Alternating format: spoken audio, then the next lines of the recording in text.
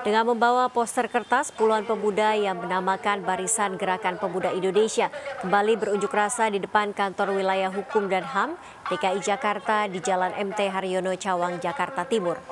Masa mendesak Menteri Hukum dan HAM mencopot jabatan Kakanwil Kumham karena dianggap lalai menjalankan tugasnya.